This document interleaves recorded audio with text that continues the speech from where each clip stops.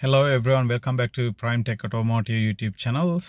So I have BMW 2005 325i here. So I'm gonna show on this video um, how to check the oil level by using the cluster and also the um, the display radio display here. So first you need to get the car warmed up. So for example, if you've done a service um, then you need to check the oil level obviously. So um, you need to get the car warm up and um, I would say maybe drive the car for like 10 minutes once you fill engine oil.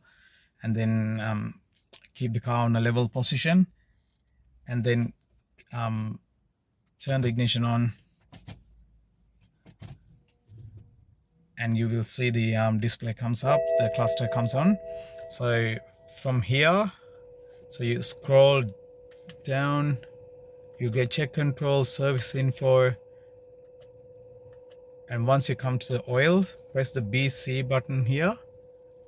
And there you go. So you will see the oil level is okay. So if you need to add oil you get a message low oil level showing. So from that you can check the oil level on this.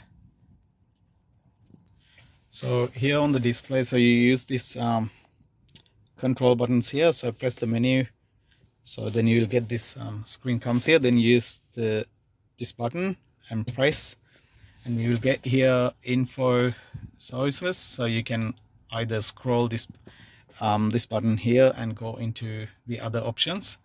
But on the info service once you go into info service so um, this control here you toggle to downward and then you you can go into this um, this section and then you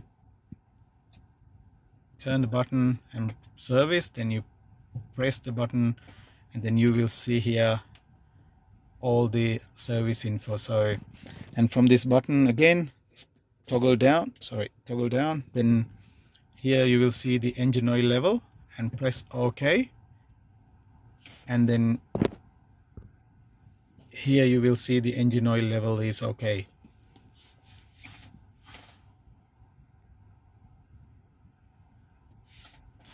that's all guys. So um, on this car here so you, either you can check the oil level from the display or from the cluster. Thanks for watching guys. I'll see you guys from another video. Please go into my channel and there are some other videos. Check on the channel. Subscribe to my channel and like my videos. So thanks for your support